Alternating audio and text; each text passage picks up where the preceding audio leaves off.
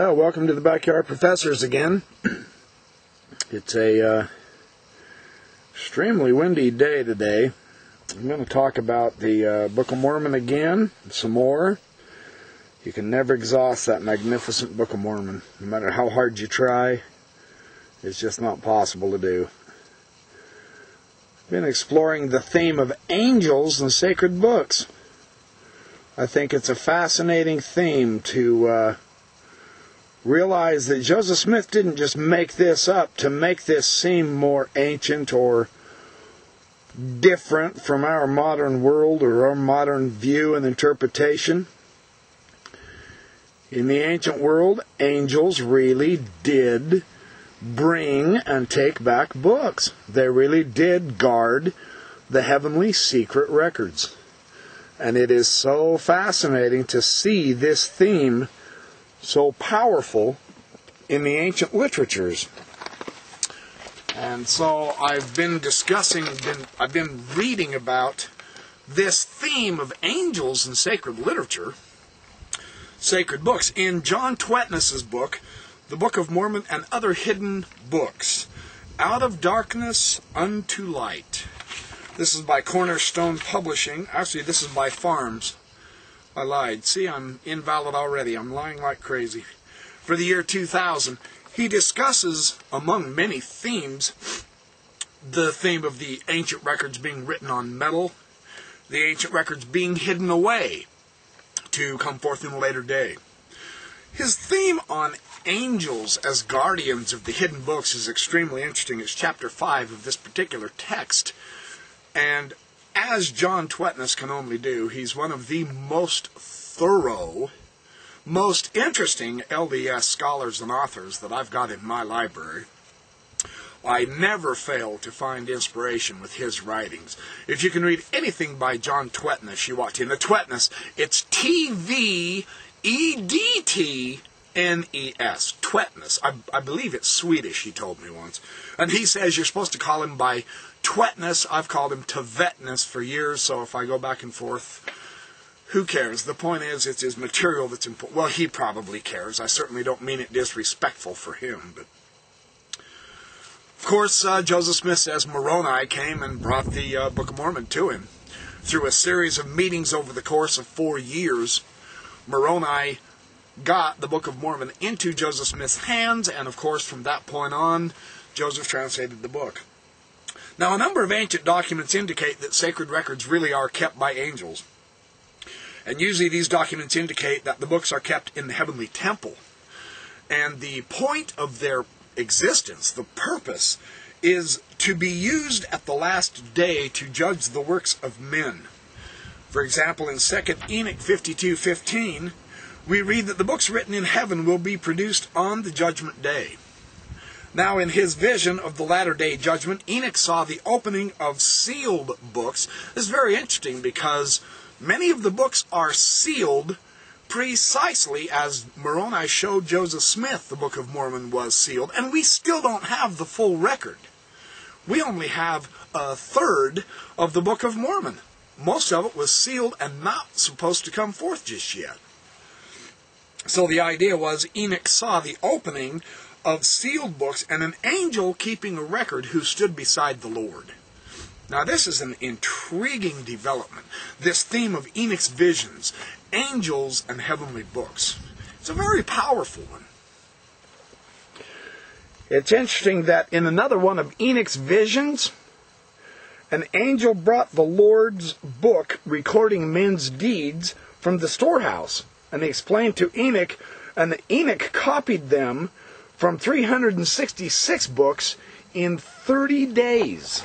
And the point of the books was the other vision showed that the archangel Uriel showed Enoch a book of astronomy. It was to teach him the mysteries of the ancients and what they had done in their lifetimes. It was to teach them the sciences, the ancient philosophy and the sciences, especially astronomy fascinating. The vision of Rabbi Ishmael recorded in the book of 3rd Enoch described the heavenly scrolls that were written by angels themselves, not just men's deeds, but angels themselves, and they contained the books of the dead and the books of the living.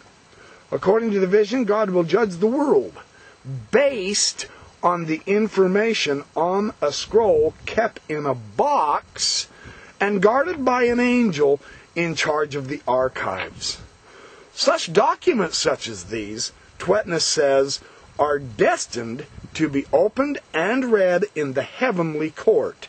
Ishmael saw the heavenly scribes who stood near God in heaven. That's 30 Enoch 33 and 2.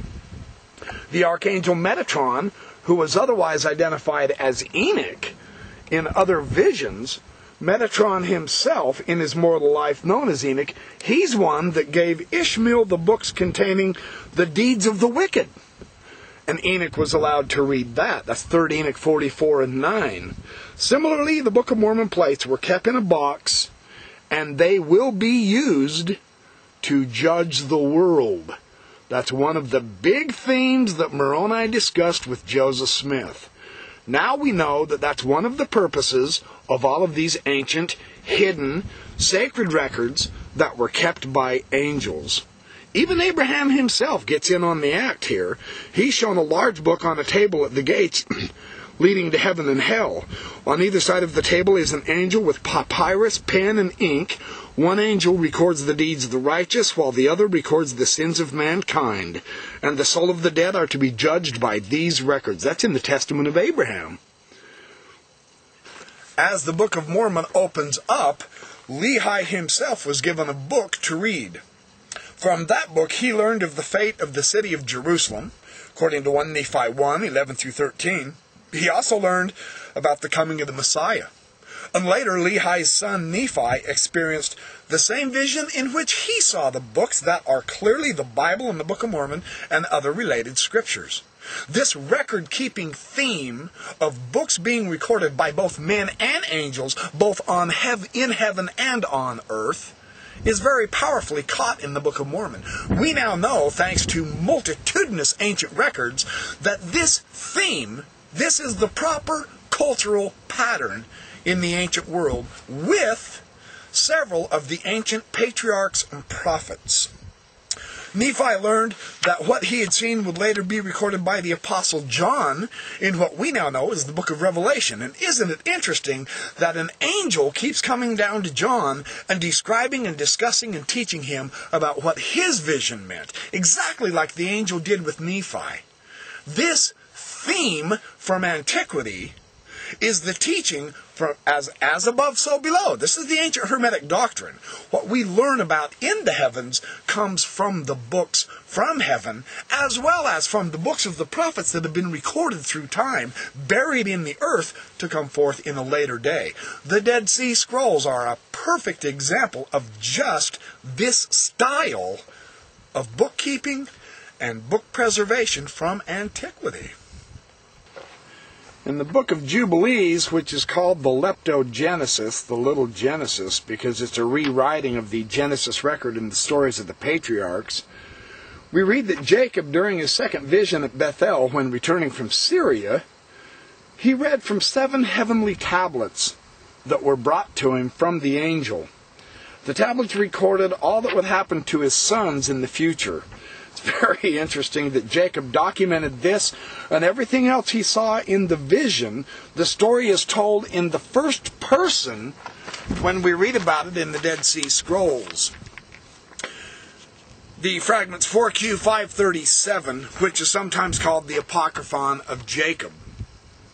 Now, the 10th century Arab chronographer Al Kasai noted that prior to his death, Adam told Seth that he had seen in a heavenly vision what was written on the canopy of the Lord's throne and the gates of paradise, the layers of the heavens, and the leaves of the tuba tree. The prophet Isaiah is said to have been taken to the seventh heaven, where, like Abraham before him, he saw Abel, Enoch, and others. Now, this is in the martyrdom of Isaiah and the ascension of Isaiah, an angel brought him heavenly books that named the deeds of the children of Israel. And a similar, well, there goes the, there goes my hat. Crack. Here comes the wind. crap. I better go get that. That's a nice hat. Hang on. Take a break. Pop some popcorn. Sheesh.